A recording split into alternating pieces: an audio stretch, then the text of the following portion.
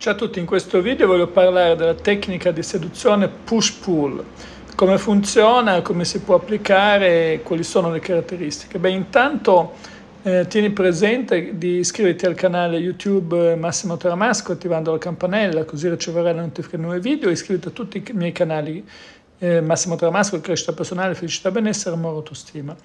E allora, che cos'è la tecnica push-pull? Push-pull significa tira e molla fondamentalmente. È una tecnica eh, che va ehm, eseguita, diciamo, mostrando interesse alterno nei confronti di una persona, cioè ogni tanto ti dimostro disponibile, ogni tanto non, non ti dimostro disponibile. Questo perché in questo modo vai a, mh, come dire, gratificare entrambe le parti. Ovviamente quando ne gratifichi una ne penalizzi un'altra. Le nostre parti interne, che sono la sfera emotiva e la sfera logica. La sfera logica viene gratificata quando tu dai disponibilità, eh, quindi tiri, diciamo così, e la sfera emotiva viene gratificata quando ti allontani, quando molli. Questo per quale motivo? Perché la sfera emotiva mh, si nutre di tensione e ovviamente eh, quando tu dai disponibilità nei confronti di una persona non crei tensione, ma addirittura possiamo dire che vai a mm, gratificare la tensione, a ridurre la tensione, mentre invece quando eh, sparisci rigeneri la tensione. Ovviamente servono entrambe le cose, anche perché, come dire, la doccia scozzese, acqua calda, acqua fredda, fa sentire la, le temperature molto di più.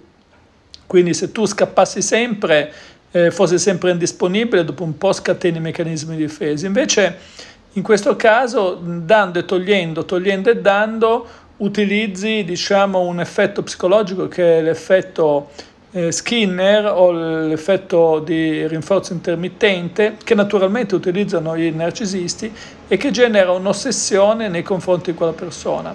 Perché eh, quando la gratificazione raggiunge, eh, eh avviene non si sa come, non si sa quando, le persone si accaniscono su quella situazione.